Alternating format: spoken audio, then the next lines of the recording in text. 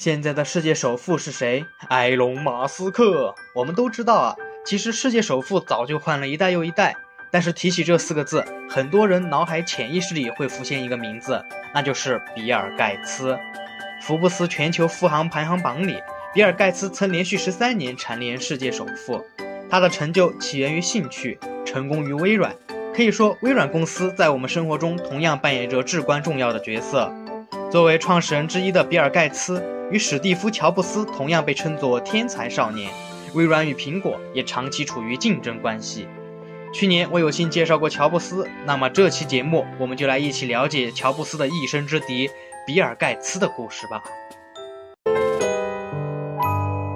美国华盛顿州西雅图诞生过许多名人，这里不仅有窃走我们钱包的鸡胖，还有本期视频的主角比尔·盖茨也正是出生于此。一九五五年十月二十八日，当地知名的律师老威廉与自己在银行系统工作的妻子玛丽正期盼着自己的孩子诞生。他们给他取名为威廉·亨利·盖茨三世。他的父母在他很小的时候希望他能够从事法律相关的行业。幼年时期，盖茨常常和自己的两个姐妹一起学习玩耍，父母也常常带他们一起去一个新式教堂祷告。他们谁也没有想到。比尔·盖茨在未来会从事的行业是在与父母期望完全相反的道路上。正当他上小学的时候，一个新兴的产业伴随着第三次科技革命的风声开始蓬勃发展，这正是计算机行业。但这对于一个小孩子来说还很遥远。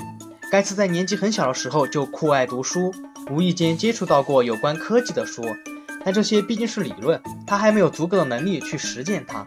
直到毕业后进入了湖滨中学。比尔·盖茨认识了一位好友，他的名字叫做保罗·艾伦，他们的友谊至此开始。十三岁那年，盖茨第一次接触到了计算机相关的设备，一台名为 ASR 三十三的电传打字机。这时，他们俩谁也不会想到，这巧妙的机遇将会让他们的命运与这个行业紧紧相连。通过对计算机代码的摸索，比尔·盖茨掌握了一定的编程能力，编写出了一个名为“井”字旗的程序。啊，这个就是那个经典的三个叉或者三个 O 圈，三个圈吧，连在一起的那个游戏啊，就是你们小时候上数学课无聊的时候就在草稿本上画那个玩儿。嗯，只不过呢，盖茨呢是把它数字化了，搬到了电脑上。通过对这方面的了解不断深入，盖茨在母亲给他提供的资金用完后，便和保罗·艾伦以及另外两名同学共同创立了湖滨中学程序员俱乐部。来赚钱筹集资金，以便未来的发展。他们开始对计算机中心公司 PDP-10 的操作系统进行钻研，利用系统 bug 来争取更多的编程时间。后来，盖茨和同学们组建的俱乐部也主动与其合作，直到七十年代。随着湖滨中学程序员俱乐部名声逐渐扩大，学校的老师也发现了盖茨一行计算机天才少年，便希望他们能为学校制作一个智能的排课系统。作为回报呢，学校愿意给他们提供更多的计算机编程时间和版税。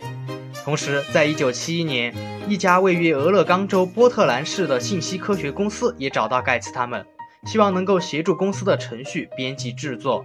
最后，俱乐部的成员完成了这些任务，并获得了制作程序百分之十的利润和相关的制作经费。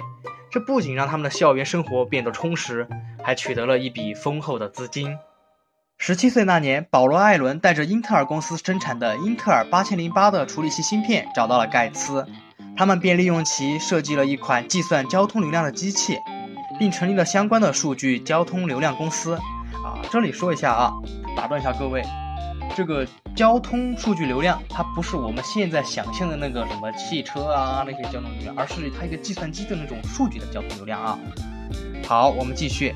嗯，在此期间，比尔·盖茨也曾在华盛顿特区担任过一名国会议员的实习助理。他也低价购入了五千枚麦格文·伊格尔顿纪念章，在随后政坛变动里，又以高价出售了这些纪念章。从这件事我们可以看出，盖茨从小就有着充满商业智慧的头脑。一九七三年，盖茨从湖滨中学正式毕业。此时的他拥有众多光环，是美国国家优秀学者。在学术能力倾向测试中获得了一千五百九十分的高分，要注意，他这个满分是一千六百分，他只差十分就满分了。这年秋天，他成为了哈佛大学的一员。他虽说选择了法学预科，但同时辅修了数学与计算机的课程。在哈佛这样一个好的平台上，他又遇到了很多同样拥有远大志向的同学，那就是在未来接替盖茨成为微软首席执行官的史蒂夫·鲍尔默。正是因为有共同的目标和天才般的头脑，二人在之后才能共同的进步和成长。盖茨高中时的好友保罗·艾伦去了华盛顿州立大学，二人并非在一个学校，却经常联系。和盖茨相比，保罗·艾伦的性格没有那么的急躁，更偏向保守与腼腆，所以难免会出现意见不合的情况。但最后他们还是能和好如初。一九七五年，盖茨和艾伦分别从哈佛与华盛顿州立大学退学，因为他们不喜欢学校的那种氛围，他们更希望能靠自己的实力去创造价值。保罗·艾伦退学后，在霍尼韦尔工作。在闲暇时光里，艾伦在疯狂地阅读一本名为《大众电子》的期刊杂志。某一个清晨，他看到了一篇有关 Alitair 八千八百的小型计算机套件的文章。他很高兴地把这个消息告诉了比尔·盖茨，两人很是兴奋。他们认为这台电脑将能创造很多可能。Alitair 计算机是由一家位于新墨西哥州的 Metis 的小公司制造。为了展现自己的想法，盖茨和艾伦主动地联系了该公司，声称他们正在为贵公司生产的 Alitair 计算机编写软件程序。然而，他们俩并没有这台型号的计算机，也没有相关的代码。说出这样的话，只是单纯的想看一看 Metis 公司有没有兴趣，以便进入寻找一份好的工作。果不其然，Metis 的高管很感兴趣。他们希望二人展现一下自己的才华。两个月后，他们带来了自己的作品，让公司高管眼前一亮，同意了二人制作程序的合同。也正是在这一年，比尔·盖茨与保罗·艾伦成立了自己的公司 Microsoft。没错，这就是微软。这个名字来源于微型计算机与软件两个单词的结合。一开始，两个单词中间还有个连字符，随后便取消，合并成了一个单词。公司的第一个作品便是前面提到的为 Altair 编写的 Basic 软件程序。当然喽，万事开头难，这个软件很不错，但取得的收益显然不足以支撑一个新公司所需的管理费用。比尔·盖茨在之后回忆道：“根据当时的统计，使用盗版软件的用户很多，大约只有百分之十的用户选择了正版。微软的 Basic 软件受到了很多的计算机爱好者的喜爱。”他们购买了软件后，便急于制作副本并分享给更多同好。这并不是因为他们没有钱，而是当时的风气使然。在计算机爱好者的圈子里，他们认为彼此分享好用的软件是一个传统。比尔·盖茨的想法却恰恰相反，因为他需要这款软件来给微软创造利润、创造价值。于是乎，在1976年2月，盖茨给计算机爱好者们公开发表了一封信，希望他们支持正版软件。才能让微软在未来制作出更多利于行业发展的新软件。这期间，比尔·盖茨与 Metis 的总裁艾德·罗伯茨产生了许多的矛盾。盖茨认为罗伯茨在软件开发和业务方面完全是个老古板，不愿意接受创新。罗伯茨则认为是前期给盖茨的好处太多，把他给宠坏了。一气之下，罗伯茨把 Metis 公司卖了，自己回家安度晚年。盖茨和艾伦得知这个消息后，立即联系了新的所有者，以便保留微软制作 Altair 计算机应用程序的权利。同时，他们也开始拓展业务，联系其他的计算机公司，编写更多的软件程序。微软不断的壮大，到了1979年，公司的年收入达到了250万美元。这一年，盖茨把微软迁到了华盛顿州贝尔维尤。盖茨很高兴自己的公司能够回到自己的家乡附近。他有了更大的动力。这个小小的公司此时只有二十五名员工，但负责的方面却很全，可谓是麻雀虽小，五脏俱全了。比尔·盖茨二十三岁时，凭借着他在软件开发上的敏锐度和商业嗅觉，成为了微软的领导者和代言人。公司编写的每一个软件，他都会亲自的审阅，有必要时还会亲自修改编写代码。这样的品质对于一个新公司来说十分重要。计算机行业发展十分迅速，短短十几年诞生了很多知名的公司，像是 IBM、苹果、英特尔这样的公司如雨后春笋般在美国发展壮大。比尔·盖茨注意到了这样的情况，便带着微软旗下的软件主动找到他们，希望逐步建立相关的合作关系。他的母亲也帮了很多忙。在他的介绍下，盖茨认识了 IBM 的首席执行官。一九八零年十一月，IBM 恰好正在寻求能够为其个人电脑制作程序的公司，便打算和微软沟通。比尔·盖茨亲自来到了 IBM，但因为他看起来太年轻了，被 IBM 的接待人员误认为只是个助理，打发他在一个办公室里喝咖啡。过了一会儿，接待人员才发现啊，他原来就是比尔·盖茨，连忙道歉。确实，盖茨很年轻，但超出常人的能力让他在 IBM 高管面前留下了深刻的印象。微软旗下的程序吸引力很强，唯一的不足之处就是微软尚未开发出能够在 IBM 的新电脑上运行的操作系统，而是选择了靠关系购买了在西雅图另外一家公司研发的操作系统，命名为 PC-DOS。再反手授权给 IBM 使用。事后，西雅图的那家公司起诉了微软，最后盖茨不得不花高价进行私了。这件事发生后，微软也没有公开承认，倒是吸取了教训，那就是自研操作系统是个非常重要的话题。在后续与 IBM 的合作中，微软推出了 MS-DOS 的磁盘操作系统，IBM 的高管非常满意，并希望购买源代码以实现系统在 IBM 上的独占。比尔·盖茨拒绝了这个请求，而是让 IBM 为其使用该系统提供相关的订阅费。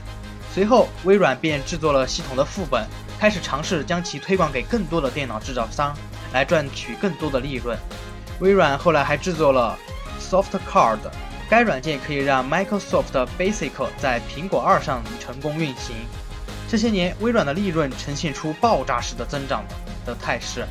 从之前的年收入二百五十万飙升至一千六百万，员工也增加到一百二十八名。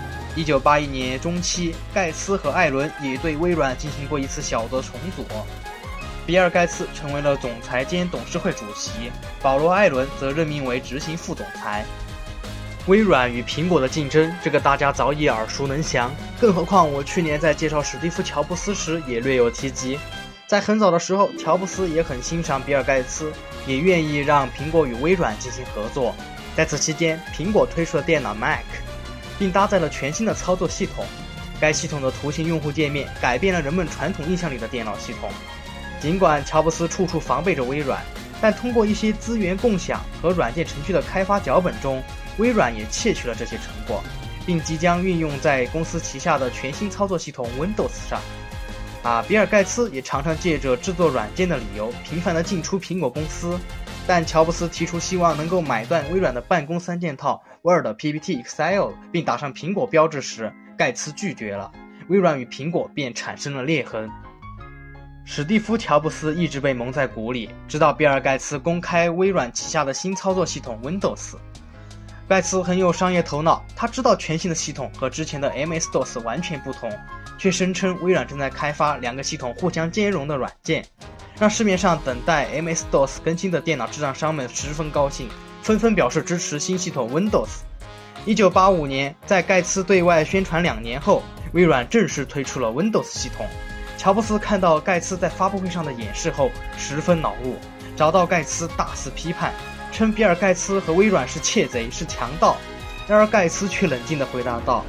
Mac 的系统也只不过是窃取失了的，让乔布斯十分尴尬和恼怒。先前微软和苹果进行合作时，苹果公司也主动提供了很多关键信息，以便来协助其软件的开发。有段时间，微软还劝说苹果让 Mac 的系统逐步开源，但这个提议被乔布斯拒绝了，因为他认为软件和硬件的配合才能让电脑更成功，销量更多。微软推出 Windows。算是两家公司翻脸的一个重要的导火索。苹果曾一度起诉微软，最后都是以微软的胜利而告终。微软甚至还用技术原因推迟很久才做出适配 Mac 的 Office 软件。微软在与苹果的操作系统之战上取得了胜利，但比尔·盖茨并没有放松警惕，他时刻注意着各个电脑制作商，担心他们也会制作出一款属于自己硬件的软件操作系统，从而形成一种竞争。在公司内，盖茨也表现得很焦虑。有时在上班之前，他就会提前赶到，时刻的注意着计算机行业的发展动向。此时，盖茨还开始注意员工们的想法，希望从员工那里寻找创新的灵感。公司进行讨论时，他也会注意那些不同的意见，这些看起来似乎都是优点，但殊不知都是为了应对竞争不得不采取的一些过激的措施。比尔·盖茨在业界有着“无情竞争者”的称号，因为他会想尽一切办法去打压竞争者，打压同行。当微软推出 Windows 后，以 IBM 为首的几家公司也研发了属于自己的操作系统 OS 二。盖茨听说后并没有害怕，而是继续去完善 Windows。随后依然用打败苹果那招，让微软的 Office 三件套在 OS 二上兼容困难。啊，这个就纯纯属于恶性竞争。微软的 Windows 因此快速占据了大部分的电脑的操作系统市场，这自然的引起了联邦贸易委员会的注意。在整个九十年代，微软不得不在一些领域上让步，最终才免于制裁。这期间，公司也面临着部门之间的分裂和压力。为了化解这些矛盾，盖茨开始频繁地出现在电视上，通过参加一些节目的方式，向外表现出微软并没有被击垮的信号。上世纪八十到九十年代，比尔·盖茨凭借着微软的成功，一跃成为了美国乃至世界最富有的人。一九九四年与梅琳达结婚后。他们成立了梅琳达与盖茨基金会，来做慈善相关的行业。由于盖茨的母亲在一九九五年去世，他希望盖茨也能够像自己一样为社会贡献一份力量。盖茨的妻子也是一个善良的人，于是二人才能下定决心在慈善行业做出贡献。两千年时，二人又合并了多家慈善机构，这份事业也逐渐的扩大。在多方面因素促使下，这一年，比尔盖茨选择了辞去微软的日常运行工作。开始逐渐退居二线，把整个公司的首席执行官的位置交给了自己的大学好友史蒂夫·鲍尔默，自己担任公司的董事会主席的职务。二零零六年时，他又宣布自己将不在微软全职工作。二零一四年后，盖茨卸任了董事长的职务，转而成为了技术顾问。总而言之，就是变来变去，离开了微软，但又没有完全离开，毕竟他还是微软的创始人之一，没有那么容易的彻底离开。离开微软的日常运营工作后，比尔·盖茨把重心放在了他更在意的慈善事业上，并不断的扩张到其他项目上。根据彭博社的统计啊，那个统计的那个亿万富翁指数上显示，到了2013年，比尔·盖茨的资产净增加依然排在世界前列，因为他的名下还有很多公司能够为其提供利润收入。二零一四年的一次采访中，比尔·盖茨表达出了对气候变化的担忧，以及未来五十年内可能会有一场大型流行病席卷全球。啊，没想到他还真就说对了。这个我们不展开论述。人工智能也是一个现在比较热门的话题啊。去年底的 Chat GPT 的问世，又引发了一次对人工智能的大讨论。但比尔·盖茨在二零一五年时就表达过担忧，他认为适当的开发是可行的。但如果过度的依赖人工智能，可能会引发严重的危机。嗯，这些都说远了。比尔盖茨的故事其实到这里差不多就可以结束了。离开微软后，他涉及的领域就太广了，而且有些事呢做的也不能算是完全正确。毕竟人都是会有私心的嘛，做些事情肯定会带着他自己的一些立场，包括他2021年也好跟他的妻子离婚那些事情，这些我们不讨论。然后呢，当时呢有些东西呢还有什么阴谋论这些。我又不是什么阴谋论专家，我又肯定不讨论这些嘛。